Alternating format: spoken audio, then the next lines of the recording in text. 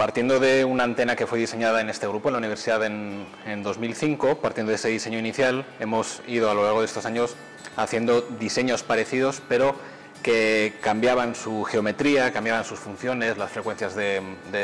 funcionamiento, los materiales con los que estaban hechos. Yo creo que la característica más, o la más reseñable es que son planas, incluso ligeras y muchas veces son mejores que antenas mucho más grandes. Una de las características que siempre queremos mejorar de estas antenas es conseguir que eh, emitan la mayor potencia posible en una sola dirección y que no emitan eh, en otros ángulos. Eh, lo cual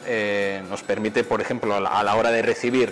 señales de otros, de otros lados, solo recibir, solo nos interesa la que esté en una sola dirección, en este, este caso la normal, y no lo que venga de otros lados.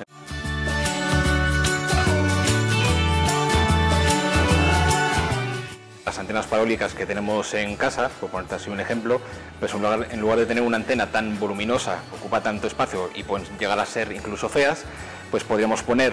un diseño similar a estos, con unas geometrías distintas, que sería eh, totalmente plana, iría pegada a la pared, ya sea porque son muy pequeños o porque son muy ligeros y baratos, en aplicaciones como en el espacio, en drones, en naves no tripuladas, en las que el, exceso de peso siempre es, es malo, en el espacio cada, cada kilogramo cuesta un, dineral, cada kilogramo subir al espacio, pues tener antenas que eh, nos ofrecen unas, unas características de radiación, un comportamiento parecido al de las antenas que ya se utilizan pero ganando en, en, el dinero gastado, en el, peso, en el, volumen ocupado, pues también es una aplicación que, bueno, no es para el, día a día, pero para la gente que, que trabaja en estos temas, pues es, es bastante interesante.